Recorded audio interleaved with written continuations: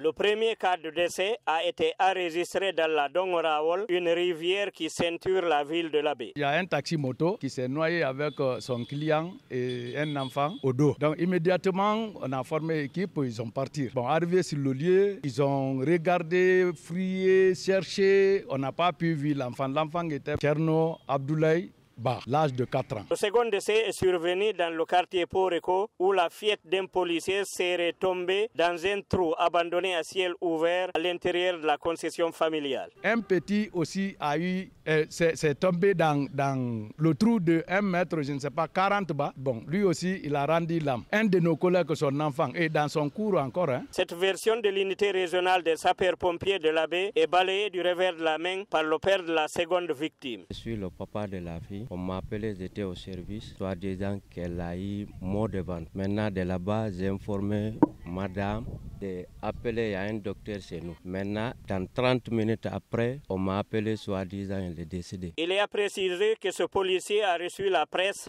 dans la rue. Avait-il peur qu'on découvre le trou abandonné à ciel ouvert dans sa concession et dans lequel serait tombée sa fille sous une forte pluie? L'avenir nous édifiera.